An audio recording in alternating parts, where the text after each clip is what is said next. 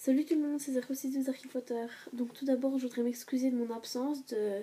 parce que c'est vrai que ça fait longtemps que j'ai pas posté de vidéo ni d'article sur mon blog. Euh, et je m'en excuse, mais maintenant je suis de retour. Euh, je sais pas si vous avez vu, mais euh, j'ai tout refait le blog, que ce soit l'habillage ou, ou les articles. J'ai plus que l'article de bienvenue, parce que je suis en train de tout refaire en fait. Et d'ailleurs, cette vidéo, c'est pour un article bien spécial comme vous l'avez pu deviner, sur le basilic. Donc je vous mettrai le lien en barre d'infos. Euh, quoi dire? Eh ben écoutez, on va tout de suite commencer la vidéo. C'est juste une vidéo juste pour mon article, donc faudra. C'est pas une vidéo très exceptionnelle. Même si j'en avais déjà fait une à propos de ça. Et je l'ai supprimée, si vous avez pu le voir. Donc je l'ai supprimée, donc euh, je la refais tout entière pour bien en parler. Donc, euh, voici de quoi nous allons parler.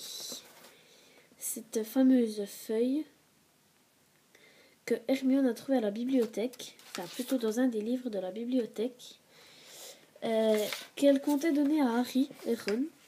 Mais malheureusement, elle a été pétrifiée avant, donc euh, ce qui lui a valu un petit passage à l'infirmerie. Mais maintenant, voilà.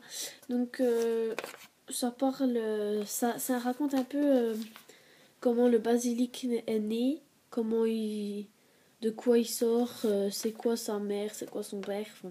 bref, euh, c'est un peu une biographie d'animal.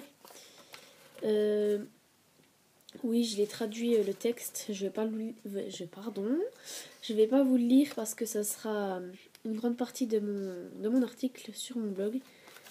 Donc voilà malheureusement. Euh, donc on voit la petite note d'Hermione, pipes, sauf que ça veut dire euh, les comment ça s'appelle? Les tuyaux, la plomberie quoi. Et donc voilà.